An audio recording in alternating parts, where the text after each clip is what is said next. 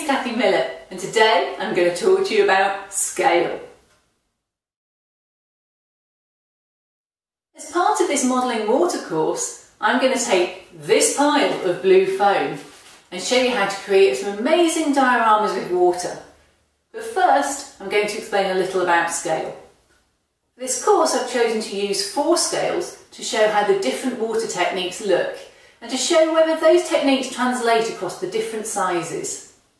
There are four scales, N, H, O, O and 1 to 35. So first up, what is scale? Models are obviously smaller than the real thing.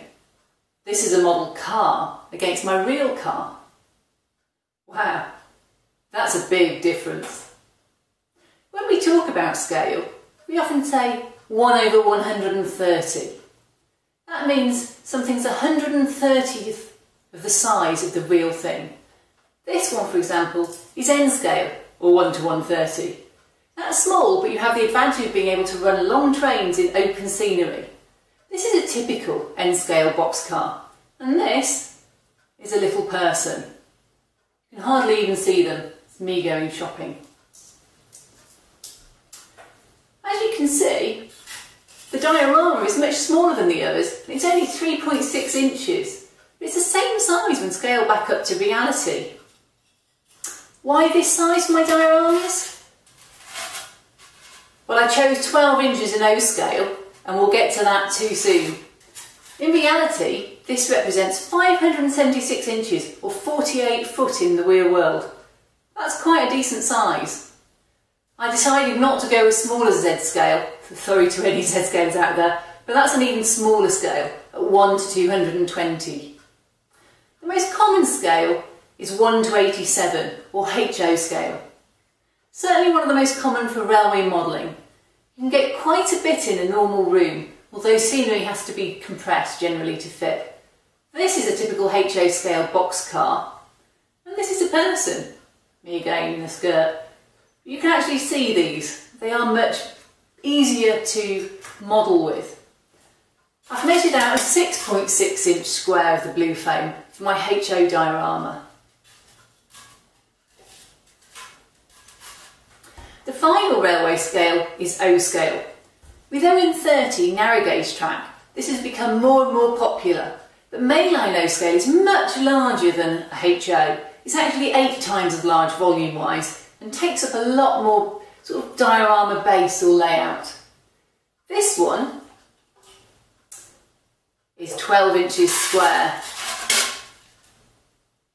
And the rolling stock, well, takes quite a lot of that up. I'm still building this kit, I've got as far as painting it. Doesn't even have its trucks on yet. The people are much larger. This little guy's bent over and I think he's welding. Final scale is 1 to 35, the common military modelling scale. The base is much larger. I love doing dioramas in sort of larger scales such as O or 1 to 35 because you can pay more attention to the details. Now, this is a Stryker that I built. That's a 1 to 35 Stryker. The only person I have is Sam for my Transformers diorama. So there's Sam pointing out something's coming. It's not a normal railroad scale, so I'm not going to put any railroad tracks on it, but it's going to have a rough path and maybe my strike and maybe something else instead. So to recap, I'll be modelling four scales, N, H, O, O and 1 to 35. I'll do a brief bit on gauges too. What is a gauge and is it the same as scale? No is the short answer. O scale is 1 to 48, but a commonly modelled scale is ON30. That stands for a scale of O, 1 to 48, but a narrow gauge track devoted by the N only 30 inches in the inside edge of the rails, compared to the normal 448.5 inches. There are all sorts of narrow gauge modelled, and they're very popular because they offer the opportunity to model a larger scale with all the detail, but the track and rolling stock are comparatively smaller allowing you to fit more on. Typical prototypes in real life are industrial or logging railways, and it makes them very interesting, and they often fit a lot into a small space. Well, I know we've been looking a little bit at scales, but do you ever wonder what it'd be like to go inside your models as if you were a small scale person? Well, I've found a really exciting device, the shrinkometer. Don't tell anyone about it, but it will shrink you down and put it inside your models. I'm gonna have a go. Let's hope it works.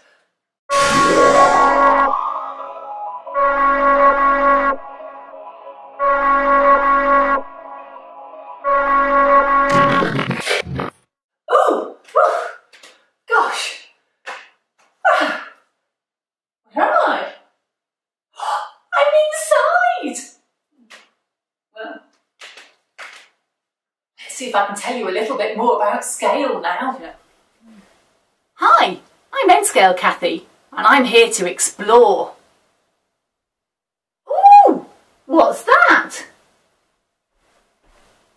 Ooh, I wonder if I can get up here. Ooh, ooh, ooh, ooh, ooh, ooh. I just can't get up there.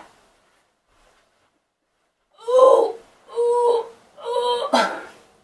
It's no good. I'm not tall enough. Hey, I'm HO scale Kathy. Who are you? I'm N scale Kathy. Don't be so rude. Oh, who are you? I'm going to try exploring. Uh,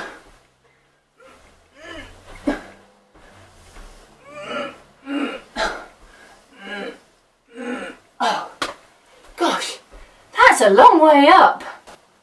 Hey, I'm scale Kathy. Who are you guys? You're really small. Are you a hobbit? We're N and HO scale Kathys. Who's that? Well, come on, guys. I know you're small. Let's go exploring. I'll give you a bit of a hand.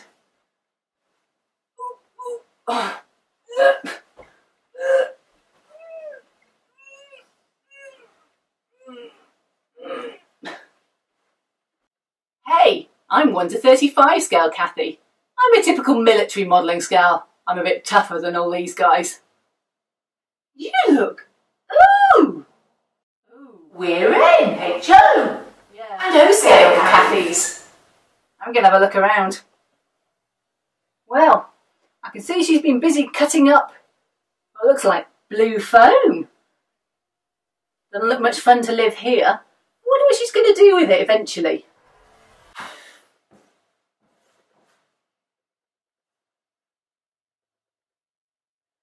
well, I finally got to the top. It's a long way up here, I can tell you. I've been all around here. There's a big pile. Pile. 1 to 35 written on the top. I think that's going to be my place. There's little lot at the top here. They may be tall, but all they say on them is N.